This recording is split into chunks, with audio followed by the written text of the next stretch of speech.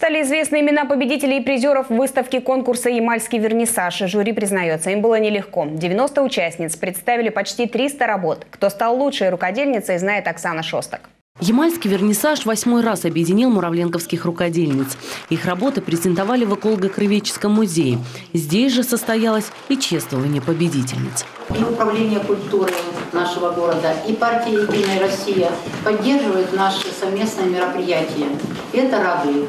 Но еще радует и то, что нас начало поддерживать и градообразующее предприятие «Газпром нефть Муравленко». Мастериц оценивали в двух номинациях.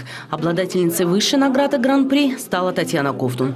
Ее сказочные куклы приковывают внимание каждого.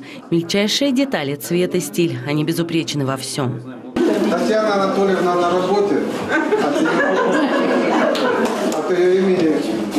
приглашаем всех на нашу выставку в январе. Среди профессионалов первое место заняла Ирина Иванова. Среди любителей – Людмила Кондратенко. Победа и признание таланта – высшая награда для рукодельниц. Прошлом году я представляла ожерелье из кости мамонта, э, рога лося, оленя. А в этом году я решила э, сопоставить две техники вместе.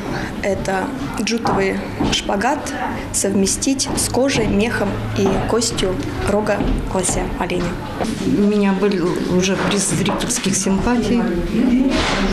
И еще какая-то номинация была. Ну, хотелось, да, но я не ожидала первое место, да. Потому что многие любят бисер и вдохновляются бисером. Я думала, работой вот бисером первое место будет. Я знала, что моя балерина всем нравится.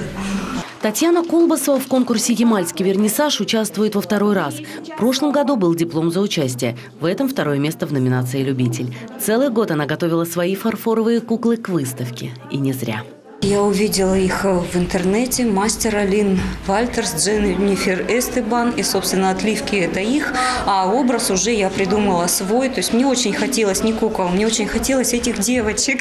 Вышивка крестом, декоративное вязание, изделия из фоамирана и бисера, уникальные куклы и украшения. 90 участниц представили на суд зрителей и жюри, около 300 работ. Каждая достойна награды, и каждая из них – шедевр. Оксана Шостак, Анатолий Шуликов. Новости. Муравленко.